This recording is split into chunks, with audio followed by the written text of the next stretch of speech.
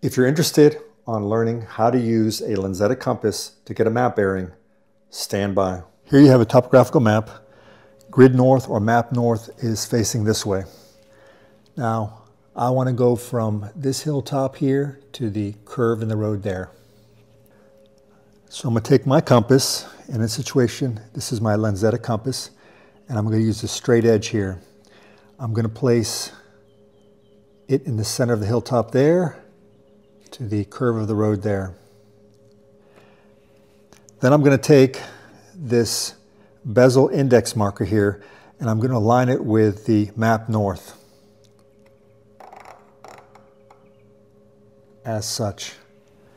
Then I'm going to go ahead and take the compass and put the arrow lined up with the luminous bezel marker here and that's going to be my azimuth. And you're going to see that my azimuth is about, oh, about 85, 86 degrees. Now, when you get your azimuth, make sure you convert it over using your magnetic declination.